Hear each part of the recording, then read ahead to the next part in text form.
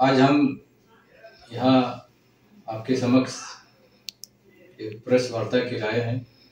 तो हम विवेकानंद केंद्रीय विद्यालय एडमिनिस्ट्रेशन की तरफ़ से मैं तावादातुक अध्यक्ष ज्ञानदेव तमिल जनरल सेक्रेटरी पितोंग है कारको कांची है और अजिन परतिन है। आज हम यहाँ आने का पूरा मकसद ये है कि विवेकानंद केंद्र विद्यालय एडमिनिस्ट्रेशन के एक सदस्य जो बितेन दाराम डी एफ़ ओ रूपा जिनका कल अब्डक्शन हुआ जो बहुत दुखद घटना है इसके समक्ष हम सब आए हुए हैं सबसे पहले तो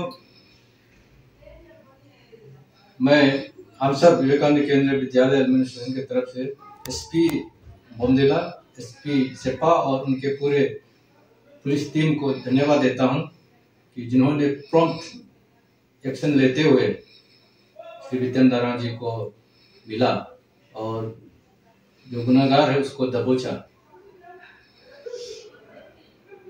साथ ही मैं पूरे कम्युनिटी से भी, पूरे सीबीओस को भी, पूरे सबसे मैं रिक्वेस्ट करता हूँ कि इस प्रकार का जो कार्य है उसका खड़ी से खड़ी हम निंदा करते हैं और हमें करना चाहिए।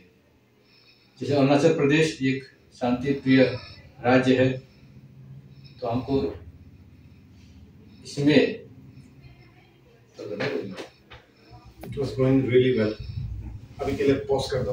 आई थिंक वी कैन तो विवेकानंद केंद्र विद्यालय एडमिनिस्ट्रेशन इस घटना को खड़ी से खड़ी शब्दों से निंदा करते हुए आप सब जनता से भी रिक्वेस्ट करता हूँ और पूरे कम्युनिटी बेस्ड ऑर्गेनाइजेशन से भी रिक्वेस्ट करता हूँ कि इस प्रकार का जो काम है, इस प्रकार का जो कार्य कर रहा है, जो घटना है, उनको सब निंदा करें।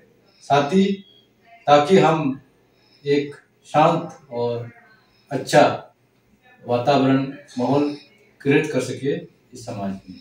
धन्यवाद।